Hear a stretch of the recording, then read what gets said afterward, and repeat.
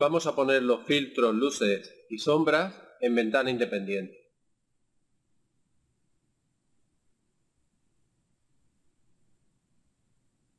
Estos filtros producen varios efectos de iluminación a la imagen.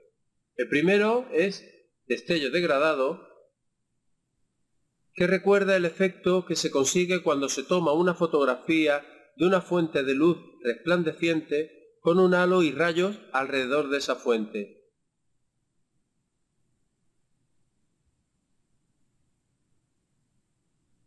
Miramos el ejemplo.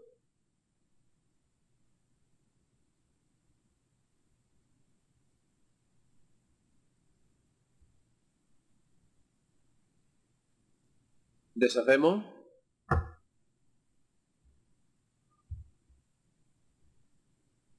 Destello en lente da la impresión de que el sol pega sobre el objetivo cuando se dispara una foto. Se puede situar el reflejo con una luz que se puede mover, pero no tiene las posibilidades que ofrece el filtro destello con degradado.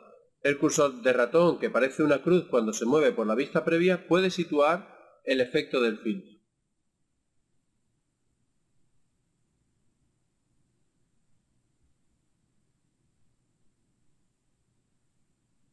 Deshacemos.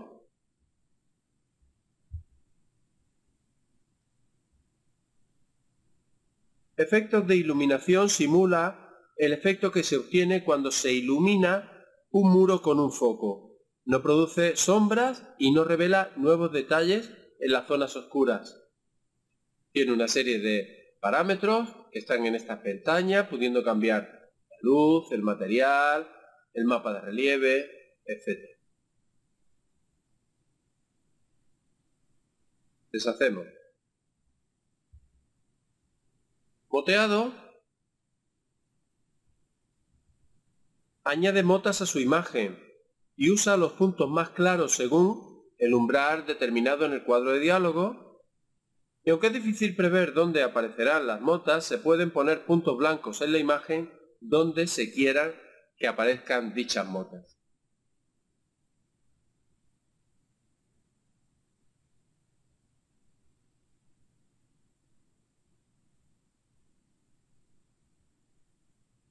Deshacemos.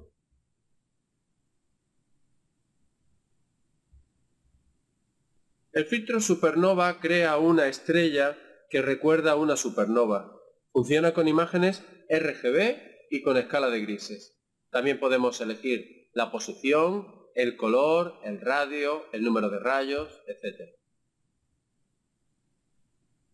Vamos a cambiar de imagen para aplicar los siguientes filtros. Escojamos, por ejemplo, esta imagen del cerdo. Vamos a seleccionar únicamente esta figura, la del cerdo.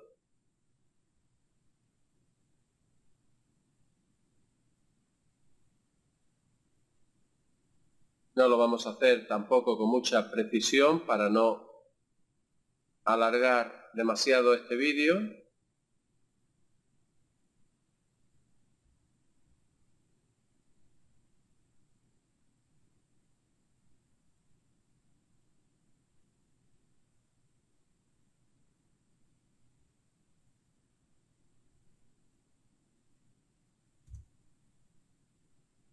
Y ahora aplicamos el efecto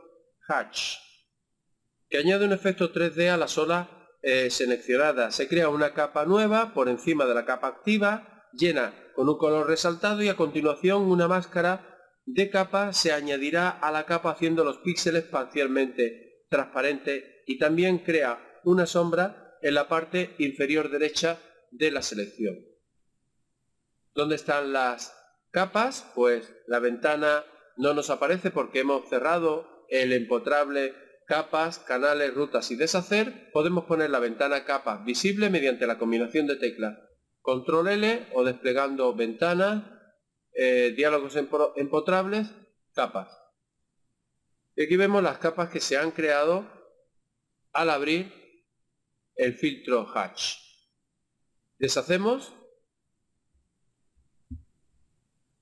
El filtro perspectiva añade una sombra en perspectiva a la región seleccionada. Se puede seleccionar el color de la sombra la longitud, el ángulo y una serie de parámetros. Deshacemos. Y por último, tenemos sombra arrojada. El filtro cambia el tamaño de la imagen si es necesario para la visualización de la sombra dejando activada esta casilla, permitir redimensionado. Se puede elegir el color, la posición y el tamaño de la sombra.